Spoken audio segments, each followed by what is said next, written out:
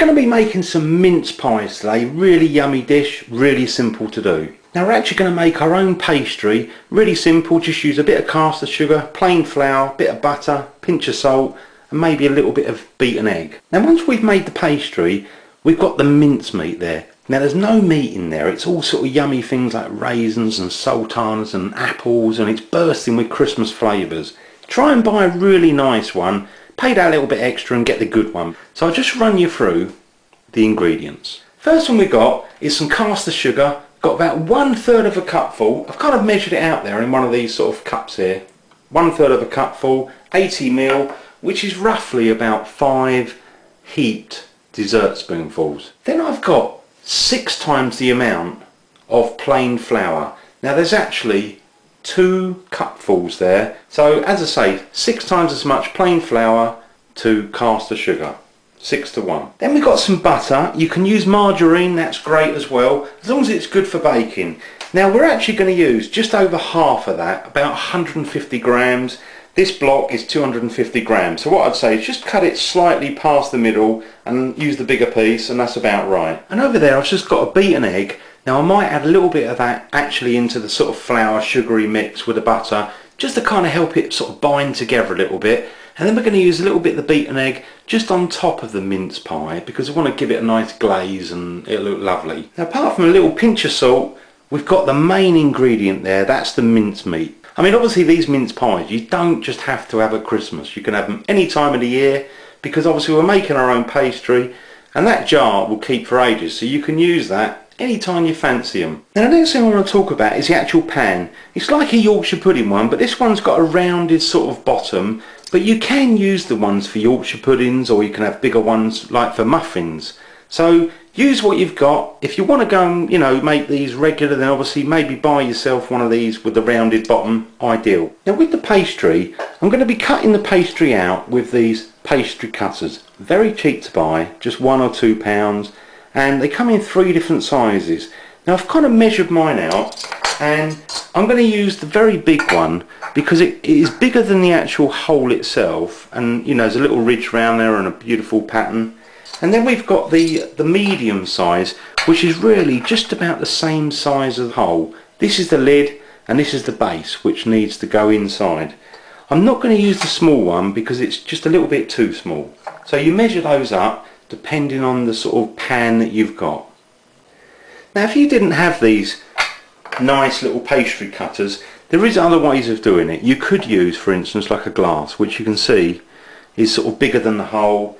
And I've got a little cup there, which is again just about the same size of the hole. Just have a look around your cupboards and you find something. So what I'm going to do is I'm going to clear the decks and we're actually going to get on and make this delicious pastry. Now I've got myself a biggish bowl that we're going to mix up our pastry. So I'm just going to put in all the ingredients we're going to use. First thing I've got going in, I'm going to use the plain flour and we're going to use two cupfuls. Then I've got the caster sugar and we're going to use one third of a cupful. Then I'm going to use the butter or you can use margarine and I've actually got 150 grams so it's just over half a block of butter. Then I'm just going to use a little pinch of salt. Don't go overboard, just a little bit. Then what I'm going to do is I'm going to start mixing this up. Now I'm actually going to use a wooden sort of fork here. You can use a metal one, it's just that you know on the video it makes a lot of noise if you use a sort of metal fork. So we're just going to sort of break that up and get the flour mixed in with it really. And then afterwards I'm going to use my hand and start rubbing it together. So just break it down a little bit and try and mix it with the flour. So I'll carry on doing that now I've just been breaking up some of those bigger lumps mixing them with the flour now I'm then going to just add probably about a third of an egg a beaten egg a third of one of the eggs. We're going to use a little bit later for giving it a glaze. So again, just give it a mix up and then we're going to get our hands in there. The reason I'm using the egg, because I think it just helps to sort of bind it together a little bit more. So I'm just going to get my hands in there and kind of grab it and make this pastry. You don't want to overdo it. Try and rub the butter into the flour and break it down as much as you can. So I'll do this briefly really, just enough time to kind of get it all together into a like a little ball really. I'll just move that slightly back into view. And you see I've got it into a nice sort of ball there. Look at that. There's your pastry, all ready to go. What I'm going to do is just put a bit of plain flour on the surface and we're going to rub it out and make sure obviously we've got enough of the pastry flattened out to uh, to do the, the mince pies. So we've got the pastry mixer and we're going to roll it out. Now I've got my roller there, sort of wooden roller, always quite useful. Just rub a little bit of plain flour on the actual roller, sprinkle it on top of there, just roll that out. Now I've rolled out the pastry, but what I'm going to do is make the base first. So I'm going to use the bigger one of these sort of pastry rings, and I'm just going to chop off basically 12 of those all the way round and then anything that's left we can obviously mix it back together again and then we can make the lids. And try and make sure you've got 12 so I've got the 12 bases all done. I'm just going to move the camera a little bit just so you can see them all. There you go. Now I've obviously got my pan there. Now what I'm going to do is just put some margarine so I'm literally just going to grab some in fingers just wipe it round. Try and get a good layer in all of the little holes. Just make sure you've got plenty on there. We don't want the thing sticking. And then we're just going to put the actual pastry bases in the bottom. I've got the pastry bases there and don't worry if you've got a little crack in there. Just add a little bit of pastry in there. Simple as that because nobody's going to know because it's inside anyway isn't it? So just pop a little bit on there. Wherever you feel that it's a bit broken at the bottom don't worry. We're going to fill it with a nice sort of filling and then put a little lid on it. Nobody will know the difference. The base is just very gently pop them down like that. Ready to receive all that lovely Christmas flavoured mincemeat we're going to put in. So they're really ready. And we're just going to put the filling in and add the lids on. So I'm just going to roll, re-roll and make all the lids so we've got the little lids on top. So I've got the 12 lids made there because we're now going to put the mincemeat inside the pastry bases. Now obviously I've got my mincemeat here and I'm just going to scoop some in each of them.